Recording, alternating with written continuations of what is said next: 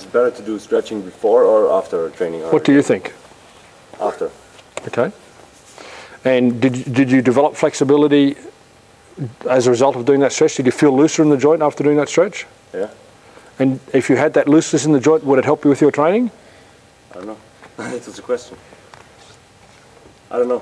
For sure, I think so. Okay. Because I can tell you something, but it doesn't matter because it's what you think at the end of the day that matters. That will give you the range. You can use the range in your training. You do it afterwards. This is two concerns. You haven't got the range during your training. Number two, are you tired at the end? No.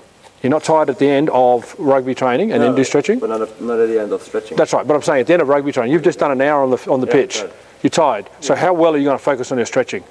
Not as good as before. Anything done last is done worst. End of story. If it's your weakness, it has to be done first. No matter what other reason, people who stretch last, oh, I don't feel like doing it today. Oh, let's cut it a bit short. Oh, I'm so tired, I can't focus. You want to improve, do it first.